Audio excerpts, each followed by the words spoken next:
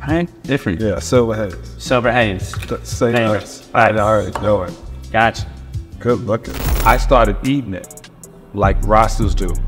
And I was grating beautiful buds into my salads and stuff. Really? Yeah, so when you eat it, your body looks at it as a miracle plant. It is, I'm telling you, if you ever get, if you ever have an eighth just to, just to deal with, ground that eight up, sprinkle it on your food. I'm telling you, you, you're gonna feel it.